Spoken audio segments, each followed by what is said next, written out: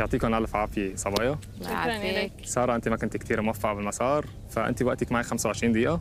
Okay. هدى برافو عليكي أنت أنا حظي حلو دائما كان اليوم يومك وكان حظك حلو اليوم ما طلع لك ولا عقبة فاجتزتي المسار بسرعة. فلهيك أنت معي 35 دقيقة.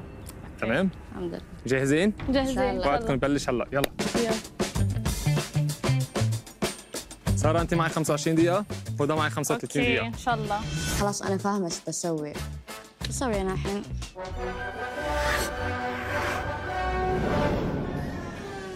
البصلة هذه أكبر من حياتي. ما كان في بصل أصغر. قطعت البصل وهذا كان غلطي. لأنه نحن المفروض نقطع بطاطس ونحطها في الموية لحالها. تلست إنه ما عندي صحن أحط فيه البصل. أسرع شوي هدى أسرع شوي. انتبهي على إيدك أنت عم تقطعي.